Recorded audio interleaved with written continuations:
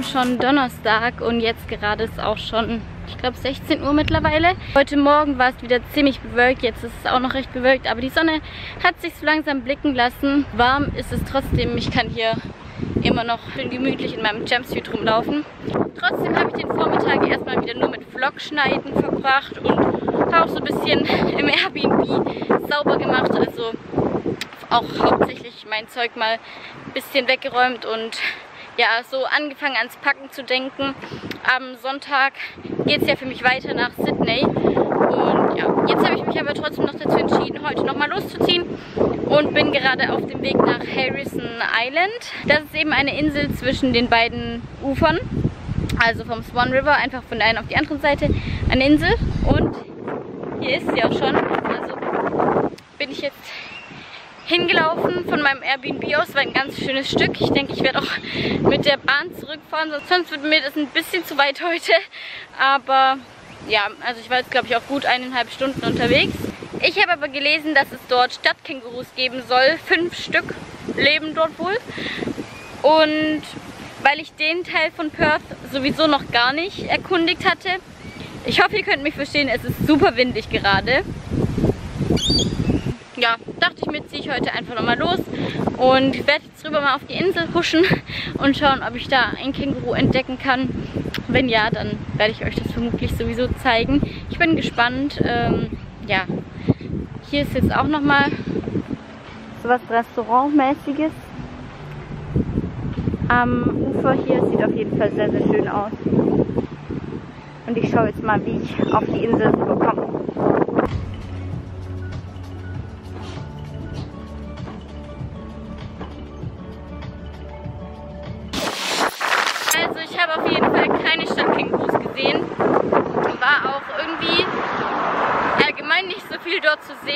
Ist gerade auch auf jeden Fall wieder richtig rausgekommen. Also es ist sehr, sehr warm gerade wieder. Ähm, ja, auf jeden Fall habe ich leider keine Kängurus gesehen. Ähm, deswegen habe ich da jetzt noch nicht wirklich was. Deswegen habe ich dort jetzt auch nicht gefilmt, weil es dann tatsächlich nicht so viel zu sehen. Vielleicht war ich auch einfach an den falschen Stellen. Ich weiß es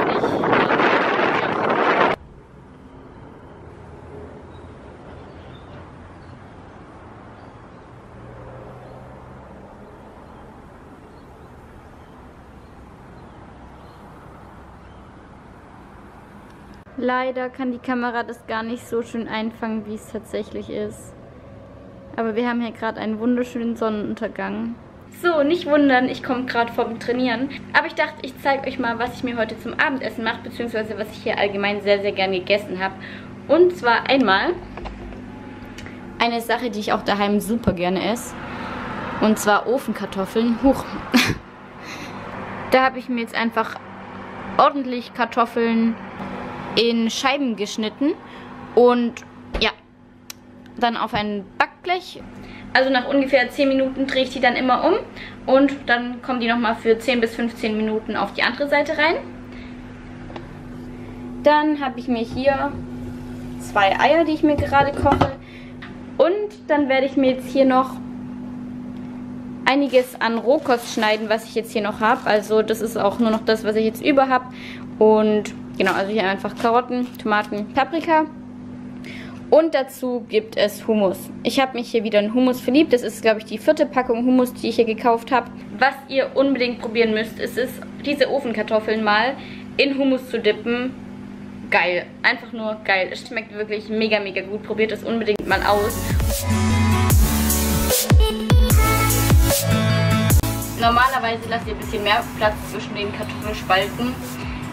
Aber ich habe jetzt einfach ein bisschen zu viele Kartoffeln für dieses Blech gemacht. Also muss es auch so geben. Und die Teile kommen jetzt wieder rein in den Ofen.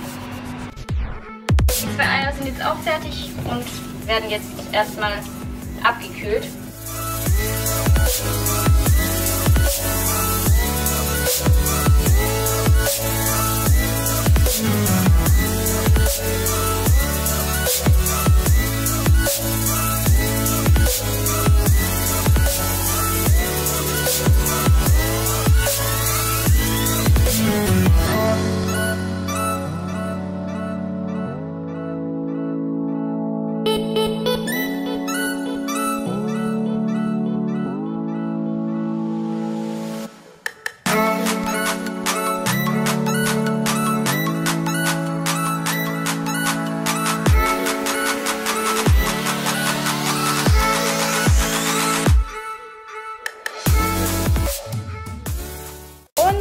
Sieht jetzt mein Abendessen aus. Also meine zwei Eier, hier mein Hummus. Wie gesagt, der wird lieber mal mitgenommen für den Nachschlag.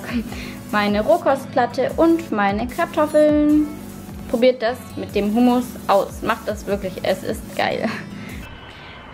Ich bin gerade hier auf der Terrasse, habe ein Vogelnest auf dem Kopf. Aber ja, ich habe heute noch nicht gevloggt und ich werde nachher auch nicht mehr großartig vloggen. Ich habe mich heute Morgen erstmal wieder ins Vlog-Schneiden gesetzt.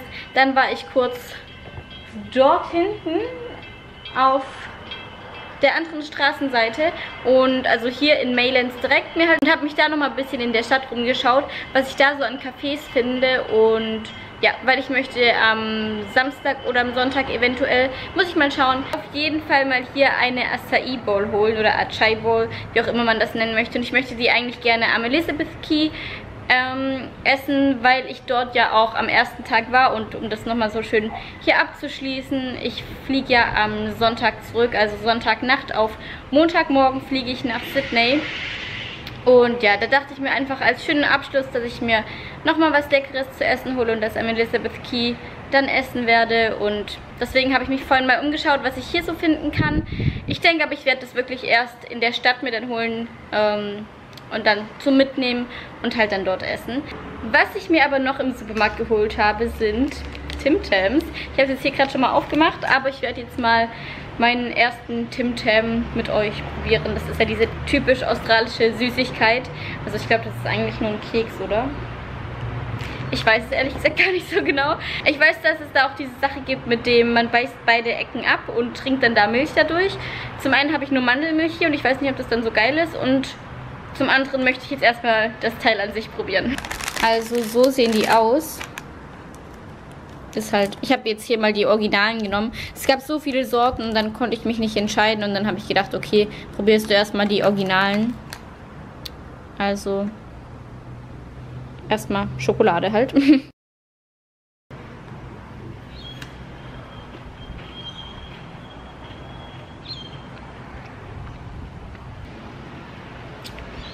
Schmeckt auf jeden Fall gut, aber ich weiß nicht, ist jetzt nichts so Besonderes irgendwie. Vielleicht muss ich wirklich mal das mit dem Milch da durchtrinken probieren. Ansonsten...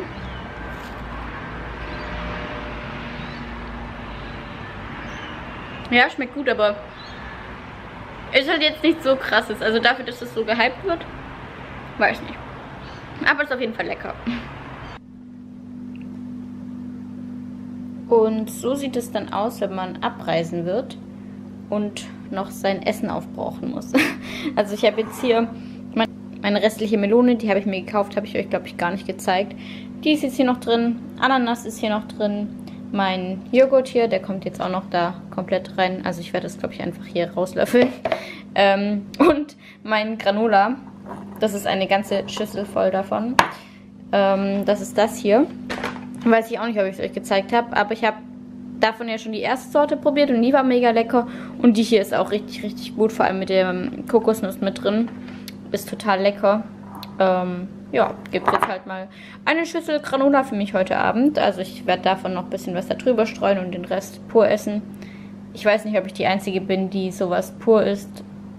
Aber ich finde es irgendwie geil. Wir haben Samstagabend und somit ist das mein letzter Abend hier in Perth. Und das müssen wir natürlich gebührend abschließen. Und wie könnte man das besser machen als mit einem Ben Cherries? Hier habe ich mir die weitere Sorte gegönnt, die ich hier unbedingt probieren wollte. Brownie Bettercore. Chocolate and Vanilla Ice Cream with Fudge Brownies and a Fudge Bettercore. Bin mega gespannt, wie es schmeckt. Ich habe meinen Löffel vergessen. Falls ihr euch wundert, warum ich eine lange Jogginghose anhabe, heute war es ziemlich, ziemlich windig. Und deswegen habe ich mir vorhin am Abend eine Jogginghose angezogen.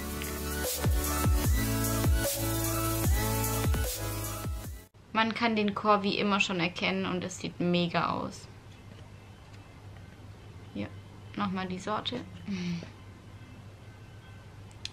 Ich bin gespannt. Ich, also ich muss jetzt auf jeden Fall erstmal den Chor hier probieren. Er hat irgendwie so einen komischen Eigengeschmack, den ich nicht definieren kann. Ich glaube, dieser Chor erinnert mich einfach tatsächlich an so eine fette Schokosoße, die so übers Eis gehauen wird. Ich weiß gar nicht. Ich will nicht den ganzen Chor essen, weil der geht meistens nicht ganz unten bis zum Becher. Ich will ein Stückchen.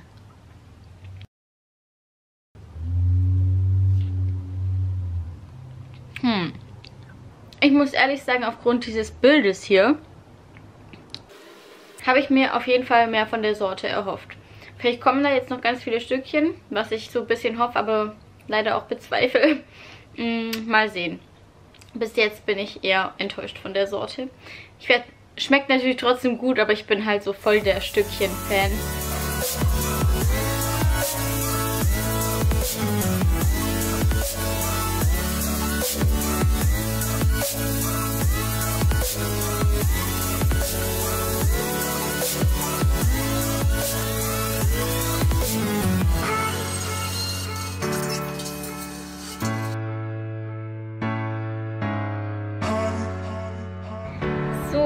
Hat jetzt der letzte Tag hier angebrochen, beziehungsweise die letzten Stunden. Ich fliege heute Abend um 11 Uhr nach Sydney und werde dort dann um 6 Uhr morgens ankommen. Ich kriege nochmal 3 Stunden Zeitverschiebung dazu, also habe dann 10 Stunden Zeitverschiebung nach Deutschland. Und ja, ich bin aber auf jeden Fall super gespannt, wie Sydney wird. Wir haben jetzt hier heute nochmal 30 Grad werde ich auf jeden Fall auch nochmal nutzen, um mich ein bisschen zu bräunen.